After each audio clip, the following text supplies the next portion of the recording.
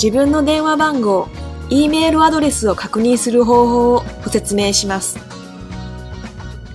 ホーム画面からアプリ一覧、設定をタップします。プロフィールをタップします。ここから自分の電話番号と E メールアドレスが確認できます。